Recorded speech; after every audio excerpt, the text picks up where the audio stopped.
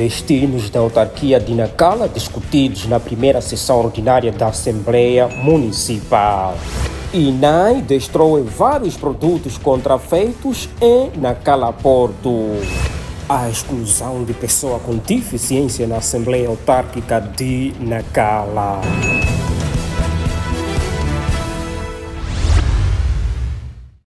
Segundo a Resolução 40-2020 de 10 de julho, a Convenção das Nações Unidas sobre os Direitos das Pessoas com Deficiência, em 2010, Moçambique ratificou, através da Resolução número 29-2010, de 30 de dezembro, a Convenção das Nações Unidas sobre os Direitos das Pessoas com Deficiência, que tem como objetivos proteger e assegurar o exercício pleno dos direitos humanos das pessoas com deficiência e assegurar que gozem de plena igualdade perante a lei e reafirma os princípios universais como dignidade, integridade, igualdade e não a discriminação. Curiosamente, enquanto se registrava a chegada dos membros da Assembleia Municipal para participar na primeira sessão ordinária, a nossa equipa deparou-se com este membro da Assembleia Autárquica da bancada do Partido Renamo, que, devido à sua deficiência, não teve o privilégio de participar à sessão por falta de condições adequadas para subir até a sala de sessão no primeiro piso do local comercial escolhido para a realização do evento. Uma situação que comoveu a nossa equipa e aos demais presentes.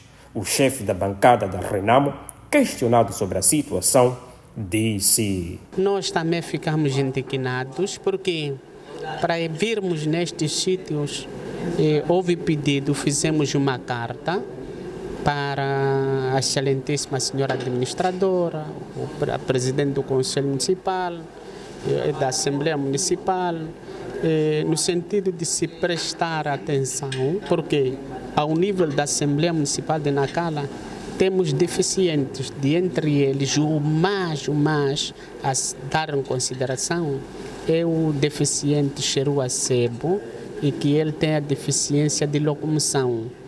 Nos sítios programados para a realização das sessões não aparecem rampas e este assunto de rampas foi declarado há bastante tempo, já vão anos, mas também o Conselho Municipal não conseguiu colocar rampa no sentido de dar acesso àqueles que não conseguem fazer-se locomoção assim de forma livre. Gildo disse mais. Havendo essa possibilidade, e nós solicitamos ao governo, solicitamos ao Conselho Municipal para que as sessões fossem realizadas nos sítios que pelo menos este nosso colega pudesse ter acesso à sala das sessões e participar condignamente usando aquilo que é o seu direito, a confiança do povo que lhe votou. Então, hoje, mais uma vez, caiu em terra, ele acabou ficando de fora não participou e olhando a própria lei, olhando aquilo que é gerir aquilo que se chama é, o deficiente, para nós o Conselho Municipal humilhou muito, em especial a Assembleia, e não respeitar aquilo que foi o nosso pedido. Edil de Nacala, questionado sobre a situação, sustentou o seguinte: Para bem dizer, Uh, acredito que as infraestruturas ao nível do nosso distrito tinham que se adequar mais a, a, a, a todos, porque um deficiente não podemos separá-lo por ser deficiente. Um deficiente também é um município. E como município, é verdade que talvez nós não, antes de marcarmos a sessão, não olhamos para esta, eh, eh, esta questão, mas acredito das próximas vezes nós vamos procurar procurar lugares que adequam a pessoas portadoras de deficiência. Muito obrigado. Presidente, presidente, INAI destrói vários produtos contrafeitos em Nacala Porto. O setor da Inspeção Nacional de Atividades Econômicas, INAI, na chamada Zona Econômica Especial de Nacala, procedeu à destruição de alguns produtos, nomeadamente 30 caixas de escovas de dente de marca Colgate 20 caixas de máquinas de barbear de marca BAC importados da China através do porto de Nacala. Produtos esses considerados falsificados. Para além dos produtos contrafeitos, a inspeção de atividades econômicas apreendeu em alguns estabelecimentos comerciais recargas de diversos sabores para a xixa, sem advertência, como manda a legislação moçambicana, que obriga a advertência de qualquer produto em língua oficial portuguesa.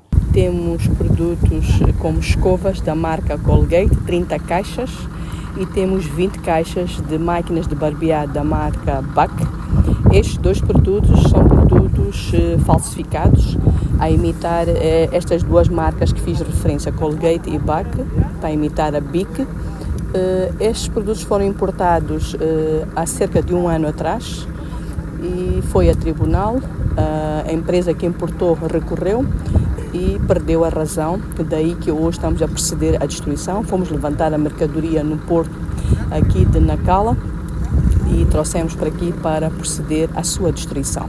Na ocasião, a inspetora nacional do Instituto Nacional de Atividades Econômicas, Ana Maria Freitas, desencoraja a todo o setor privado a venda de produtos falsificados e fora do prazo. Aqui deixo a mensagem a todo o setor privado a nível nacional para que não venda produtos falsificados, produtos contrafeitos, produtos duvidosos. Se encontrar um produto muito acessível, desconfie, porque poderá se tratar de um produto contrafeito que acaba prejudicando a saúde eh, do cidadão, do consumidor em território nacional.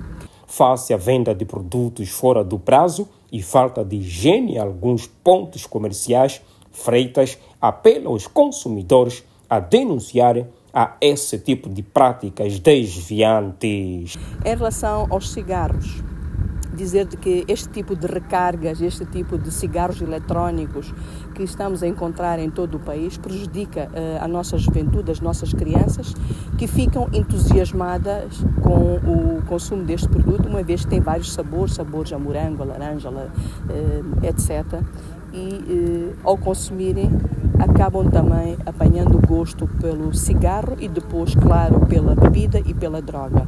Então estamos a fazer este trabalho a nível nacional. A nossa legislação proíbe a entrada em território nacional de todo produto de tabaco que não esteja advertência incorporada de fábrica. Não se pode colar em cima da embalagem que fumar prejudica a saúde. Ele tem que vir de fábrica com esta informação. Daí que estamos a proceder à destruição e desencorajar ao agente econômico a deixar de vender este produto que está a prejudicar a nossa juventude, com destaque para as nossas crianças menores de 18 anos. Um dado não menos importante para o presente ano 2024, foram encontrados e destruídos vários produtos contrafeitos e fora de prazo na cidade de Lixinga e na Cala, prefazendo o segundo caso. A Assembleia do Conselho Autárquico de Nacala reuniu-se na sua primeira sessão ordinária para discutir os destinos do segundo e maior centro urbano de Nampula. A sessão que tinha sete pontos de agenda, dos quais três considerados pertinentes, pois os mesmos definem os cinco anos de governação autárquica. Antes da ordem do dia, a sessão foi marcada por intervenções por parte das três representações políticas. O MDM, o fiel porta-voz dos munícipes de Nacala, presente nesta magna casa, lamenta a morte recente de aproximadamente 100 cidadãos. Aqui falamos de 98, mas há desaparecidos. Num naufrágio, um acidente no posto administrativo de Lunga, no distrito de Mossuril, a caminho da ilha de Moçambique, no passado dia 7 de corrente mês. E endereça à família lutada os nossos sentimentos de dor.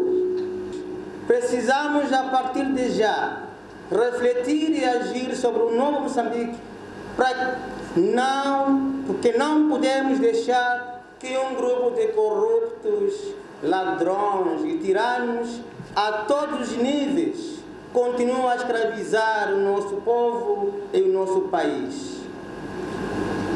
Estas eleições no passado dia 11 de outubro de 2023 mostraram a todo o povo nacional e internacional que há clara tendência de voltar-se ao monopartidarismo e marxismo.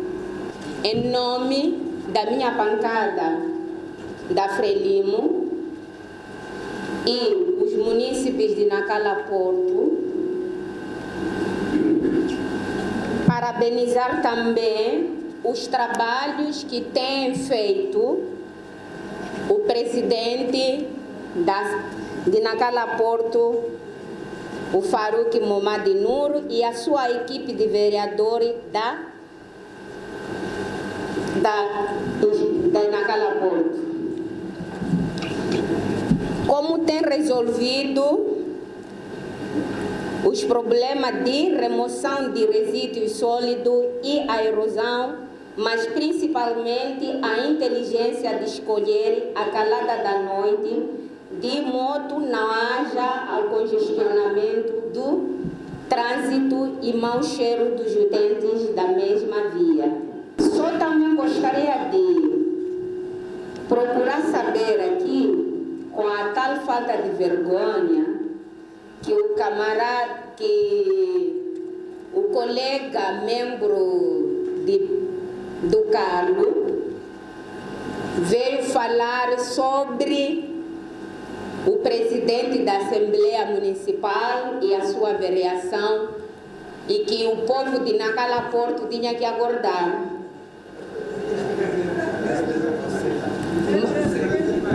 Presidente, desculpe, o presidente do Conselho Autárquico, que eles tinham que acordar, mas pelos vistos que o povo de Nacala acordou há muito tempo.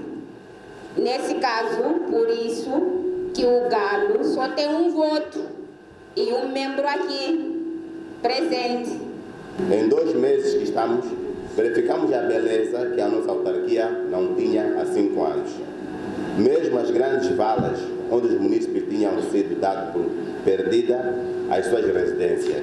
Realiza-se hoje a primeira sessão ordinária na Assembleia Autárquica nesta bela cidade e o franco desenvolvimento é um momento em que os tratados internacionais sobre o meio ambiente e mudanças climáticas, ciclones, intempéries, doenças de origens hídricas que assolam a nossa cidade. O desenvolvimento de terras é uma realidade e em que todos nós saiamos a defender boas políticas, combate concreto deste fenômeno saneamento do meio ambiente, combate ao fecalismo ao céu aberto e combate à criminalidade, seja vista em primeiro, em primeiro plano. Os munícipes de Nacala e seus hóspedes devem se sentir com boa referência de atração turística, isto é, evitar-se que os nossos empresários locais investidores estrangeiros não abandonem as suas infraestruturas comerciais, alegadamente por falta de incentivos e oportunidades de negócio. Segundo Farouk Momadi Nur, edil de Nacala, na sua intervenção, afirmou que dos 71 dias já percorridos, a autoridade desenvolveu várias atividades em todas as variações. Minhas senhoras e meus senhores, nestes 71 dias, de Governação, o Conselho Municipal desenvolveu inúmeras atividades em todas as variações, como, por exemplo, a recolha rotineira de resíduos sólidos nas diferentes artérias da cidade.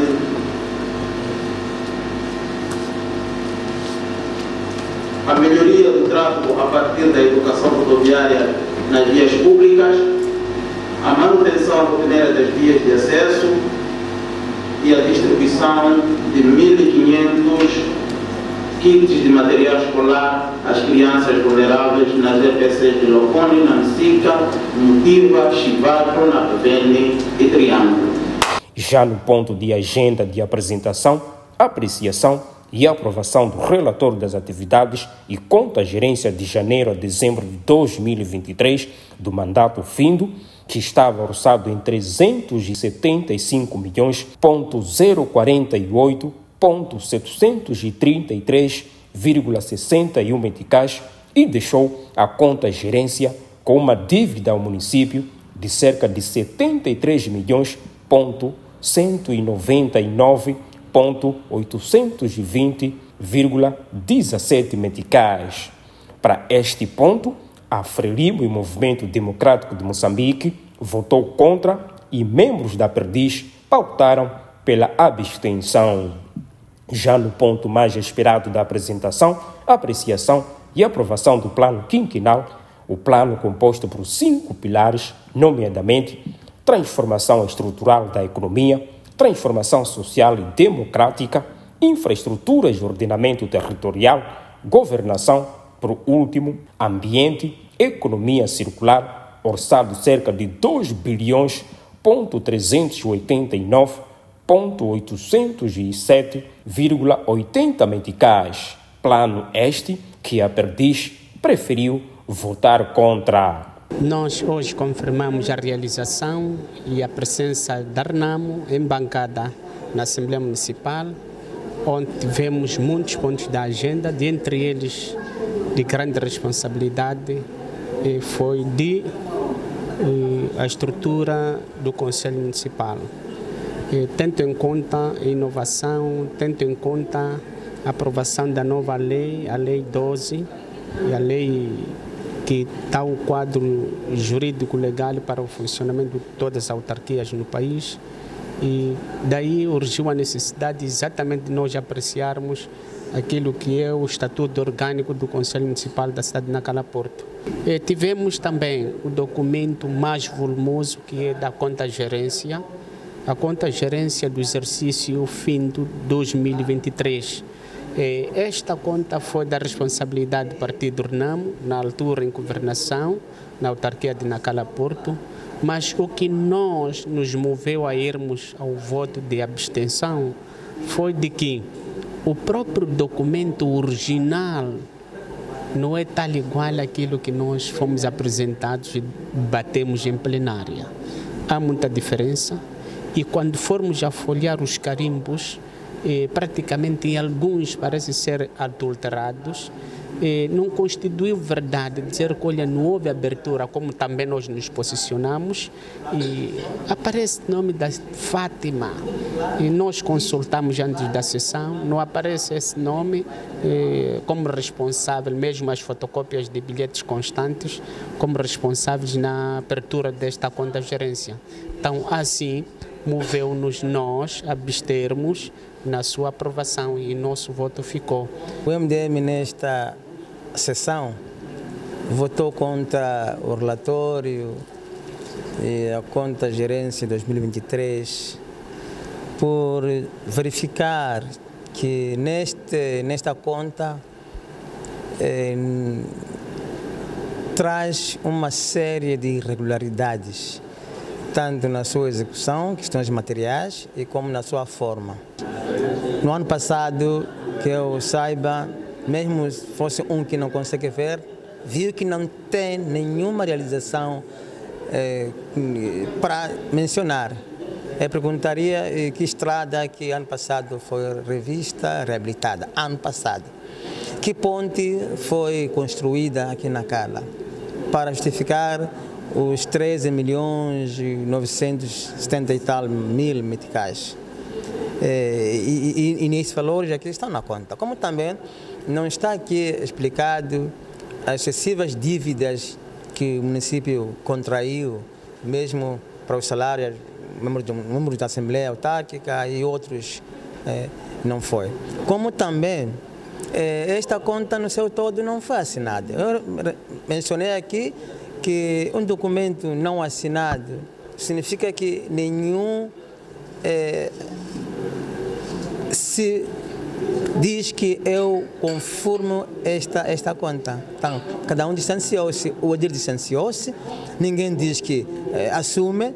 Então, assim documento não pode, não pode avançar porque não tem assinaturas. Não... É Telvina Fevereiro, administradora de Nacala, em representação do governo, no seu discurso, diz estar impressionada pela postura dos membros e aproveitou a apelar todos os membros na luta contra a onda de desinformação sobre a cólera no seio dos municípios. Queremos aqui encorajar e dizer que está num bom caminho. O contato com a população, o contato permanente que tem feito com a população é este, é isso e vai continuar a ser isso e a nossa população anseia ver de vós, Senhor Presidente e a sua equipe, marcando sempre esta diferença. Também queria pedir para que todos sejamos mobilizadores, todos os membros da Assembleia devem ser mobilizadores a esta onda de desinformação que já está a ocorrer na nossa cidade sobre a cólera no passado, no passado muito recente, ao longo da semana vinda, nós, como governo do distrito, em colaboração com a PRM, detemos cerca de quatro ou cinco jovens que à calada da noite queriam disseminar esta informação, esta desinformação. Então, queríamos pedir para que todos nós, unidos, possamos dizer não à desinformação sobre a cólera. Farouk Mumad Nuro, questionado sobre o estágio a nível da autarquia, sustenta. A autarquia de Nacala, como todos sabem, encontramos em pé como autarquia, mas com vários problemas. Problemas estes que pouco a pouco estamos a procurar resolver. E, entre eles temos o problema de vias de acesso, temos agora estamos a ter problemas de, de água, que é uma preocupação muito grande para nós como Conselho Municipal e com a instituição uh, da FIPAG estamos a trabalhar de modo a procurar uh, resolver este problema.